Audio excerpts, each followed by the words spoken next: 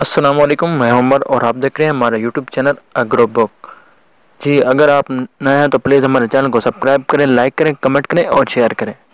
जी अब हम video start करते हैं। जी, जी आज का जो हमारा टॉपिक है वो है ये।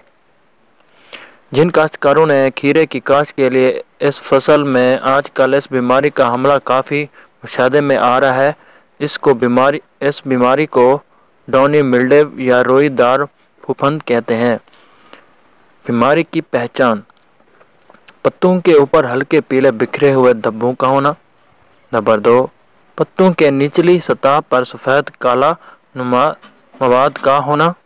नंबर तीन, फल और फूल का छोटा बनना। नंबर चार, बढ़ोतरी का रुक जाना। और उसके अलावा ये बीमारी करेला, कद्दू, पेंठा पेंडे के ऊपर भी हमलावर होती है।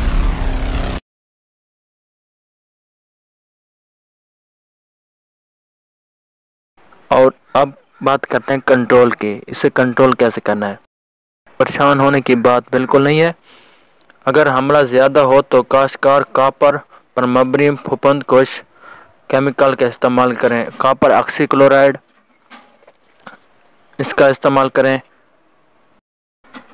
और इसके अलावा दूसरे केमिकल जो मार्केट में दस्तियाब हैं, जैसे मैनकोजेब जॉक्सीस्ट्रोबिन का भी इस्तेमाल कर सकते हैं।